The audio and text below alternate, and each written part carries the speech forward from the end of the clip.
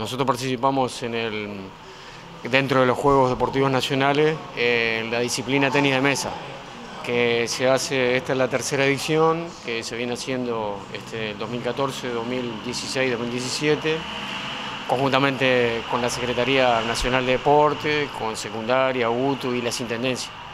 Este, este deporte se hizo en Montevideo, en la plaza número 7, el sábado 30, este, que participaron cuatro chiquilines de, la escuela que representan en realidad los liceos y bueno, apoyados por las escuelas deportivas de, la Intendencia. Este, y mm, participaron em, Ana Clara Castel, eh, Misael Robacio, Lucía Vilar y Mariana Muñoz, que es la que está desde el comienzo de, de, esta, de estas actividades nuestras. Javier, ¿te sorprendió el desempeño de los chicos? ¿Esperabas este desempeño? Porque me decías que un poco eh, quizás te viste sorprendido por lo que terminaron brindando ellos.